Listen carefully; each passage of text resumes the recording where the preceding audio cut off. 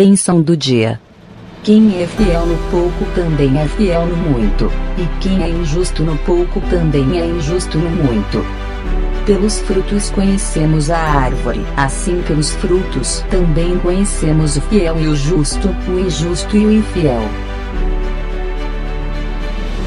Seja abençoado hoje.